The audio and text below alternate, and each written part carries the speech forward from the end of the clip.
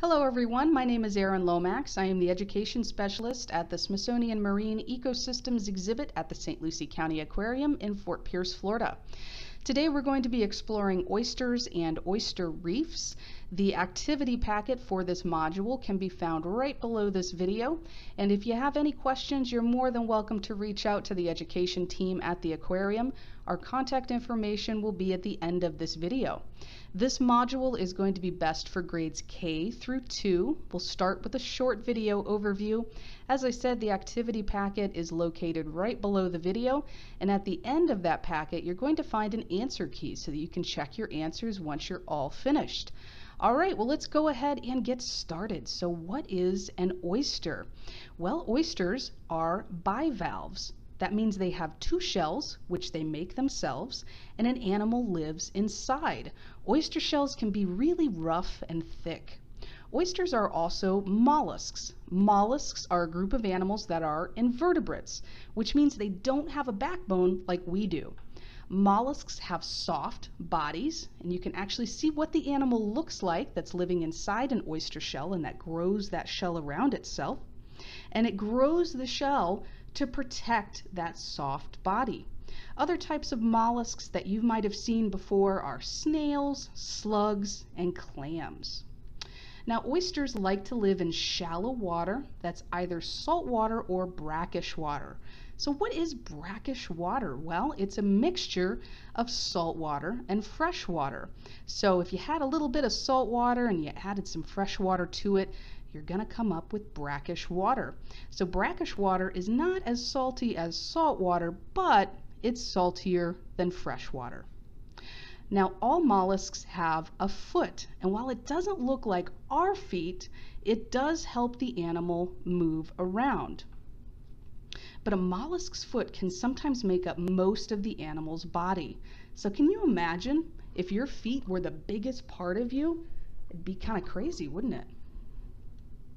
Now, other types of mollusks that you might also be familiar with are octopus and squid. We don't generally think of those guys as being related to snails, but they are. Now, an octopus doesn't make a shell to live in, but both octopus and squid have sharp beaks that are made out of something called keratin.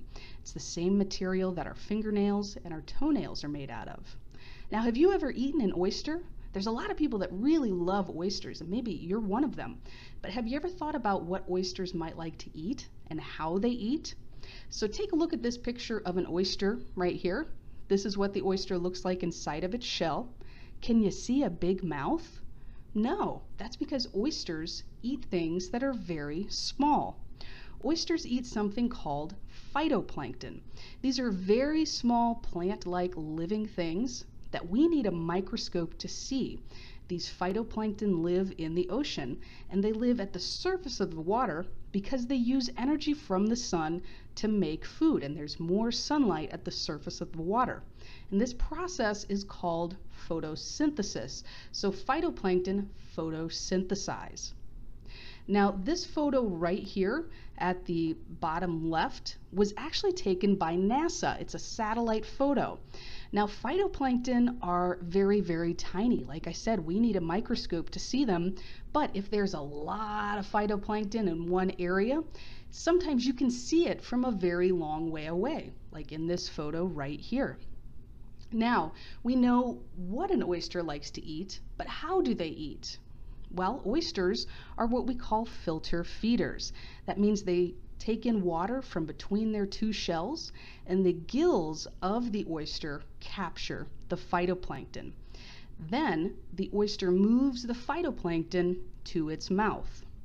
Has your mom or dad ever used a pasta strainer to separate pasta from the water? Well, oysters strain water out of their food too. So I've got a cool video I want to show you. This was taken by our friends at the Florida Oceanographic Society here in Florida. The tank on the left is empty and the tank on the right is full of living oysters. Now, once the oyster has filtered the phytoplankton out of the water, it will release clean water back into the environment.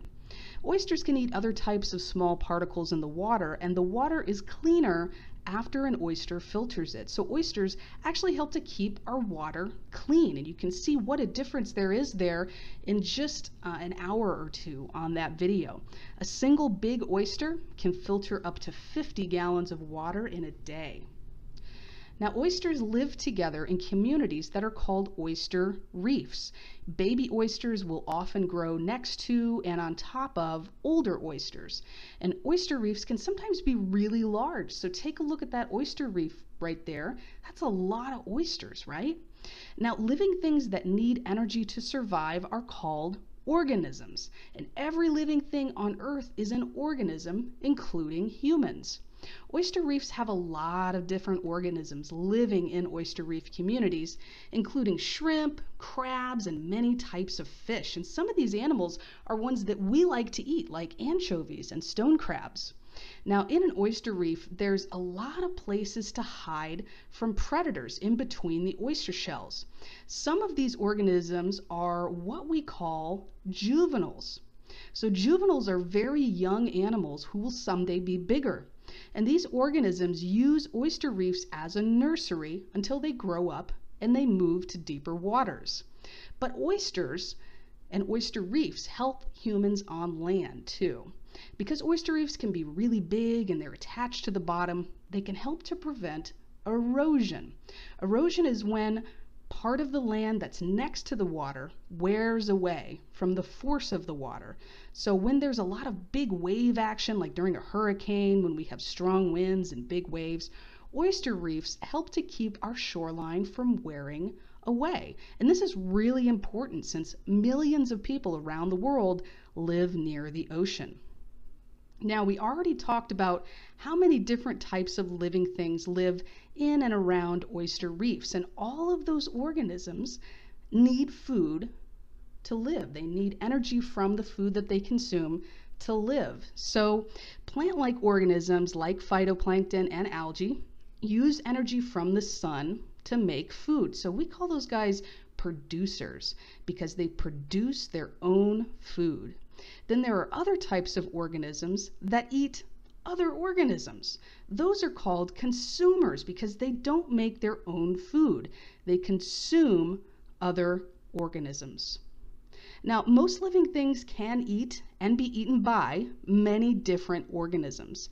And to show how organisms are connected by the things that they eat, we use something called a food web. A food web shows us which organism eats what, and shows us how all the organisms are connected in an area. So let's look at a really simple food web.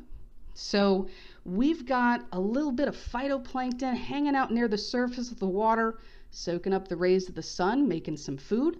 There's some oysters on the bottom. Thinks that phytoplankton looks pretty good. So they are going to filter feed that phytoplankton.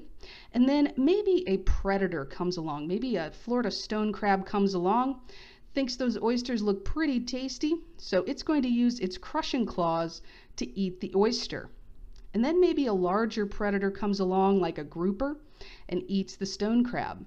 Now, when the grouper dies, its body becomes food for other animals, which can be much smaller than the animal that they're eating. It can also include bacteria. So in that little bubble there on the right, we've got some small organisms, a little bit of bacteria, and then those small organisms are going to be eaten by a little bit larger organism, and it's going to keep going and going and going. It's a never-ending food web.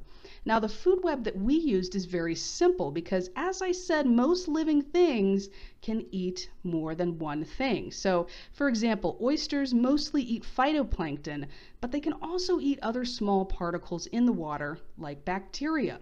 So, maybe the bacteria that's helping to break down that grouper, maybe those bacteria will be consumed by the oyster. Stone crabs will eat other types of mollusks. They'll even eat other crabs. And of course, humans can eat many different types of things.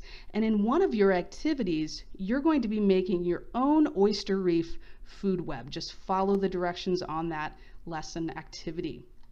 So now it's your turn. Now that we know a little bit about oysters, you're going to find the activity packet located right below this video. As I said, at the back of that activity packet, you will find the answer key so you can check your answers once you're finished. If you do have any questions, please let us know. The best way to reach us is through email. Our email is smseducation at si.edu. Thank you guys so much. Have a great day.